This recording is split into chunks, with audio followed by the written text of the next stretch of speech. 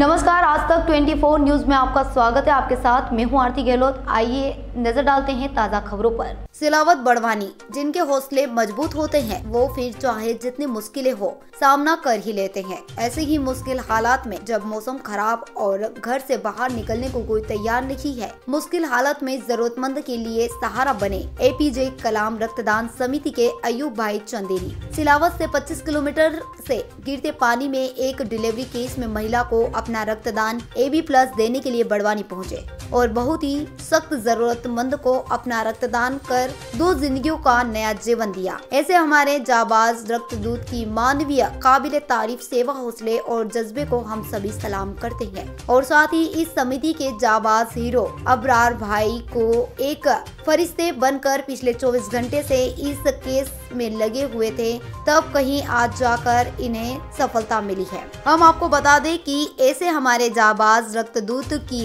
सराहनीय खिदमत और जज्बे की जितनी तारीफ़ की जाए कम है। उनकी अंजामे खिदमत पर नीव रक्तदान समिति, मध्य प्रदेश एपीजे कलाम रक्तदान समिति, बड़वानी एवं रॉयल ब्लड डोनर्स बड़वानी आभार प्रकट करती है।